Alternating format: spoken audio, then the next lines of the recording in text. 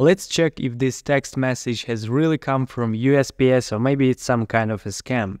It says that the package has arrived, but it cannot be delivered due to incomplete address information. Also, it asks to confirm the address at the usps.parcelshelving.com and it specifically asks to copy the link to your Safari browser. I actually checked the link so you don't have to click it by yourself. What's weird is that when I tried it in my computer's browser, I was instantly redirected to the official USPS website. So it only works on mobile devices for some reason. Here's the page that was opened when I went to usps.parcelshelving.com. Obviously, it's not a USPS website, it's a fake one. But let's just check out how exactly this scam works and so let's proceed.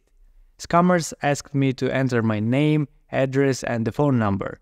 The next step was where the actual scam happens because on this page I was asked to enter my credit card information. They supposedly need to charge me for redelivery and it's supposedly only 30 cents.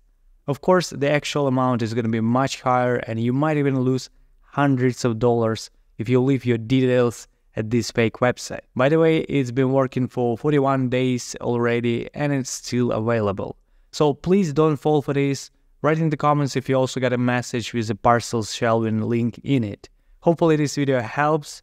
Thanks for watching and good luck to you all.